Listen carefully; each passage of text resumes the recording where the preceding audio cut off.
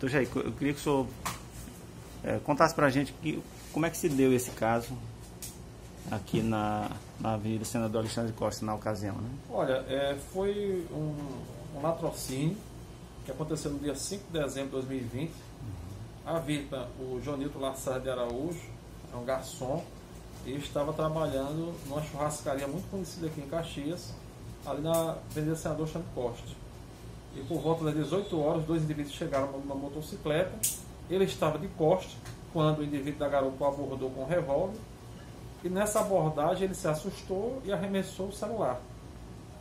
E, nesse, e nisso o indivíduo efetuou um disparo que atingiu o abdômen do, do João Nilton. Ele ainda foi socorrido e cerca de 4, 5 dias depois veio a falecer em razão dos ferimentos. Nós iniciamos as investigações, é, chegamos na motocicleta que foi utilizada, apreendemos ela no matagal próximo à casa dos suspeitos.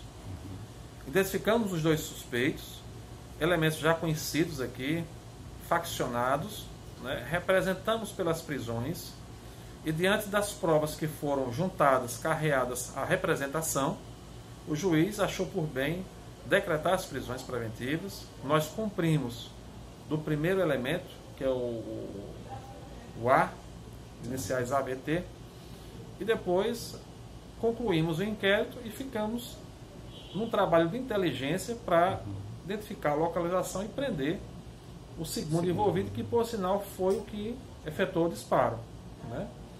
que é o FB.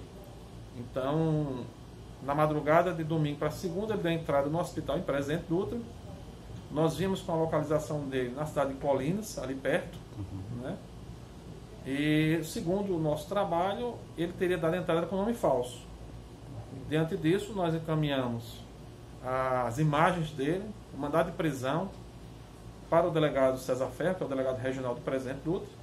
Solicitamos o apoio e ele foi com a sua equipe até o hospital e através das fotografias, dos sinais identificadores, exemplo de tatuagens, uhum. foi feito o reconhecimento lá do indivíduo. A companheira dele ainda tentou ludibriar a equipe, né, mantendo a versão do nome falso, mas por fim acatou, achou por bem é, confessar porque não tinha mais como ela negar a verdadeira identificação dele. Foi dado o cumprimento, nós estamos comunicando ao Poder Judiciário, né, e ele se encontra lá em tratamento médico, mas com escolta do sistema penitenciário do Maranhão. É, a, a ideia é que ele seja cambiado para cá, né? Assim que finalizar o... Assim que ele tiver alta médica, né? É, ele tem que vir para a comarca de Caxias, onde ele responde esse processo crime. Vale dizer que ele tem antecedentes também na cidade de Timon, assim como o outro compassa dele. Né? São indivíduos que têm já extensa ficha criminal.